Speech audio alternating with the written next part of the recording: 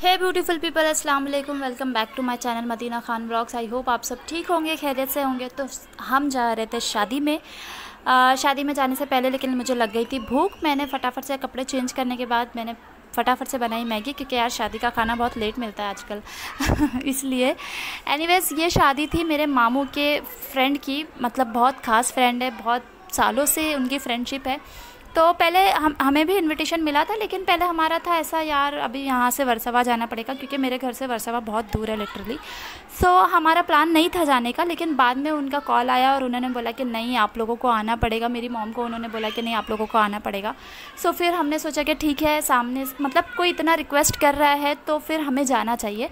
And to be very honest I appreciate one someone से कि I want you to come rather than you can come if you want so फिर मैंने भी mummy को बोला कि नहीं ठीक है हम जाके आते हैं। सो so, मैं झटपट से मैंने फिर तैयार हुई मैंने थोड़ा सा टच टचअप नहीं ऑब्वियसली मेकअप किया।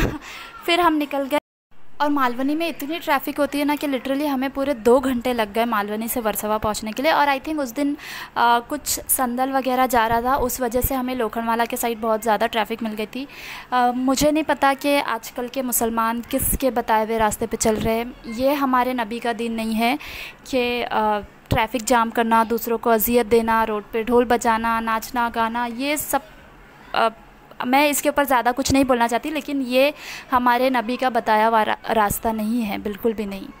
आ, फिर आ, जैसे तैसे हम शादी में पहुँच गए। ये मेरे कज़न ने वीडियो रिकॉर्ड करके दिया मुझे मेरे मामू के बेटे ने क्योंकि मैं ऑब्वियसली इतना चलते चलते वीडियो रिकॉर्ड नहीं कर पाती हूँ। अभी मेरी प्रैक्टिस चालू है चलने की इन इनशाला मतलब मेरे कॉन्फिडेंट के ऊपर है वो चलना। फिर शादी में जाने के बाद बहुत सारे ऐसे लोग मिले जिनको मैं बचपन में पहचानती थी। आ, अभी किसी की शक्लें चेंज हो गई है कोई मोटा हो गया है कोई पतला हो गया है। सो so, बहुत सारे लोग मतलब बहुत पुराने पुराने लोग मिले शादी में क्योंकि मैं बचपन में ना बहुत ज़्यादा मेरी नानी के यहाँ और खाला के यहाँ रहती थी। तो और एंड ये शादी भी उसी एरिया की थी। सो so, बहुत सालों के बाद देखा मैंने सबको। कुछ लोग मुझे पहचान पा रहे थे कुछ नहीं पहचान पा रहे थे कुछ मेरी मम्मी के वजह से मुझे पहचान पा रहे थे। फिर ऑब्वियसली शादी में जिस काम के लिए गए थे, वहाँ पे हम सब गए। और जब मैं वहाँ से चल के जा रही थी ना, मुझे ऐसे लोग देख रहे थे, मुझे मुझे सच में सेलिब्रिटी वाली फीलिंग आ रही थी यार। मतलब अगर मैं वॉकर लेके चलती हूँ इसका मतलब क्या है? मैं कुछ अनोखी हूँ पता नहीं आई डोंट नो मुझे लोग ऐसे क्यों देखते हैं? क्या समझते हैं? क्या बोलना चाहते हैं? मुझे नहीं समझ में आता लेकिन लिटरली मुझे सेलिब्रिटी वाली फीलिंग आती है जब लोग मुझे ऐसा देखते हैं तो।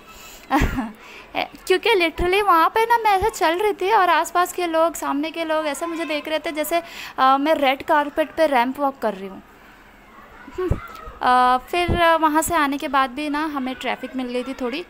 और मतलब वहाँ पे तो इतनी ट्रैफ़िक थी मतलब मुझे समझ नहीं आ रहा था कि, मुझे तो ऐसा लग रहा था कि सिर्फ़ मालवनी में ट्रैफ़िक होती है, लेकिन वहाँ पे भी मिल गई थी हमें इतनी ट्रैफ़िक रात के बारह बजे, बारह या साढ़े बारह बज रहे थे कुछ। फिर हम आ गए, शादी का खाना खा के भी हमारा पेट नहीं भरा तो हम आ गए ये मालवनी का फ़ेमस फालूदा खाने टन टन फालूदा। यहाँ का फालूदा बाबा फालूदा का ऐसा कंपे मतलब कॉम्पिटिटर है दोनों। बहुत अच्छा टेस्ट होता है तो हमने वो लिया, घर पे आके खाए, पिए, बस यही हुआ, कपड़े चेंज किए नाइट सूट पहना और रात को सोते सोते हमें दो बज गए। And yeah that was pretty much it I am gonna see you guys next time bye take care अल्लाह हाफिज़